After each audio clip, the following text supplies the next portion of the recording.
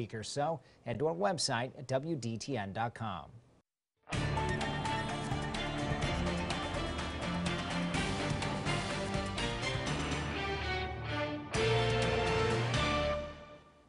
Well, it was not bad for the 4th of July, a little more summer-like today across the region here in Dayton. And overhead, we just see a few clouds from our Poe Avenue camera this evening and a big jump in the humidity today. That's the main story and temperatures as well up into the 80s. The headlines mostly clear tonight. Just an isolated thunderstorm is only possible in the early evening.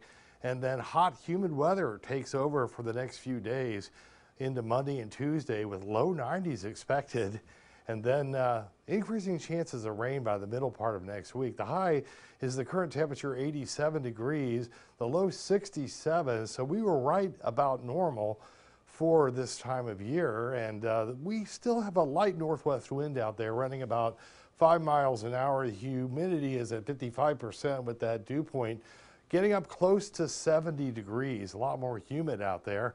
Temperatures around our region show upper 80s for the most part. A couple spots have hit 90 degrees, but we will see the temperatures only slowly fall through the 80s during the course of the evening. So if you're headed out to enjoy any of the big fireworks displays around the Miami Valley, you shouldn't have any trouble.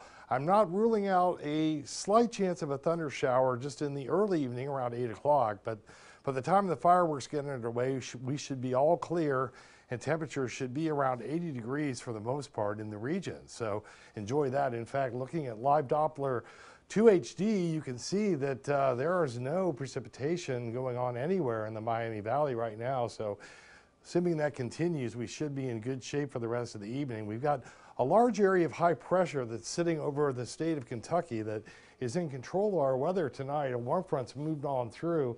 We have a cold front that will approach us by the middle part of the week that will increase the cloud cover and give us a chance for some showers and thunderstorms. But we do need to talk about Elsa tonight.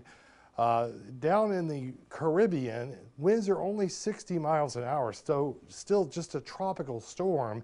And it's forecast to move across Cuba and skirt Florida on the western Gulf side as a tropical storm. And if winds stay below that threshold, it'll remain a uh, lesser storm, and we're hoping for that for the efforts down in the Miami Valley, or in the uh, Miami area, Miami, Florida, that is.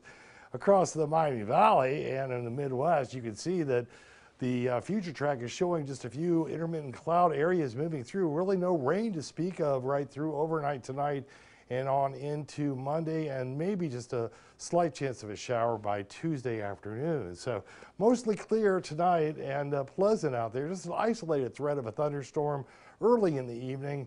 A low about 70 degrees and then for tomorrow partly sunny, hot and humid. Look at that highs of 92 expected.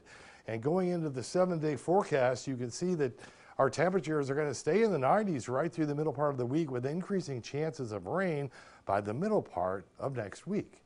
Yeah. All right, thank you, Robert Hutchins here with a look at sports.